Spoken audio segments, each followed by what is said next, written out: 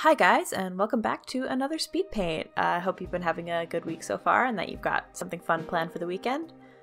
I've got another D&D session scheduled with our group, which is pretty exciting. We're on the third session of our Far North arc in the city of Mirabar. We're going to be trekking to the spine of the world to investigate a stolen clutch of dragon eggs, hopefully without running into the Anger Dragon in the process.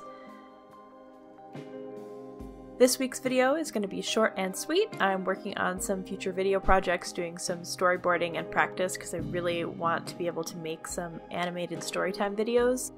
The D&D animation community on YouTube makes some really amazing stuff and I've been feeling inspired to contribute for a long time, but it is a little bit intimidating, so I'm uh, working my way up to it. Hopefully I'll have an update for you on that pretty soon. I'm also trying out the time-lapse feature in Clip Studio Paint for this video. Uh, it's a nice feature, it's really convenient and cool to be able to watch your drawing process back inside the drawing program itself. The only thing for videos that I don't like is that it only records the canvas itself, so I'm missing the footage of what tools and brushes I'm using, which I do like to have included. I personally think it's really useful to see the whole process when I'm watching a speed paint, so next time I'll probably go back to screen recording proper, but we'll be okay just this time. On the subject of dragons, uh, this week's speed paint is of Kaz, a young bronze dragon and sea captain who agreed to come along for the journey north. He wanted to come with us to try out the airship that we're currently using and spend some more time with our wizard Halorna, who he's become romantically entangled with. Normally, when Kaz sails, he crews his ship with a team made up entirely of duplicates of himself and uh, sings his own harmonized sea shanties. As a character, he's really very extra, which actually suits Halorna very well, also. They're both just lots of hair and sparkles and a lot of fun, so they're a cute couple. Rooting for those two. As for sense of danger, I think Kaz's does leave something to be desired, so we do have a hard time not worrying about him when we're not around just because he tends to assume that everyone has good intentions, and broadly speaking, that attitude just usually gets you into trouble. We got a lot more than we bargained for with Kaz coming with us because the city we've come to in order to find ourselves a dragon actually has a long history and was founded specifically by dragon hunters. Prior to this, it looked like they specifically hunted chromatic dragons, but a few of the founding families in the city seem to have taken an interest in Kaz.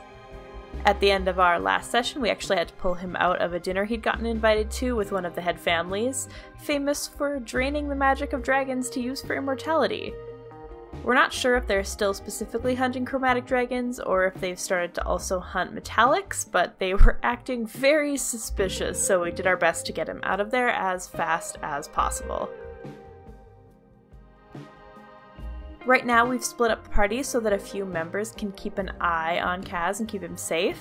It might be a bit of a challenge since he's sort of a wandering free spirit, and the city that we're in is a hub of luxury and gambling and general fun and debauchery.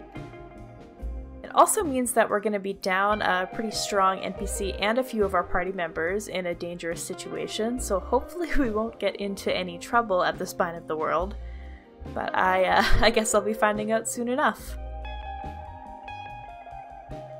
I feel like, in particular, when you're working on a character who's really extra, you kind of want their character design to also reflect how over the top they are. So, in this specific case, I'm drawing out a bunch of little bronze trinkets and beads that Kaz keeps stashed in his hair Obviously, your dragon characters have to have a little bit of a hoard on them at all times, just for good measure.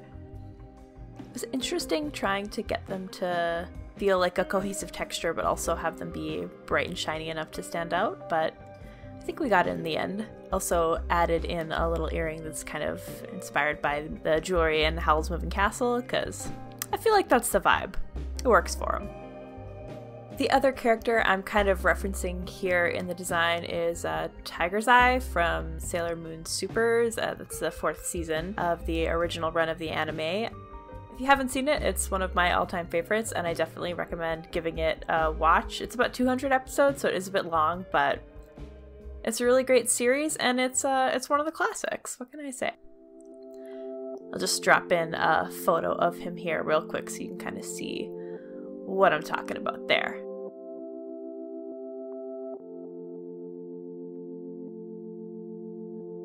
Anyway, I'm hoping next week I'll have more of an update for you on the longer storytime videos. For now, take care, and I'll see you in the next one. Bye, guys.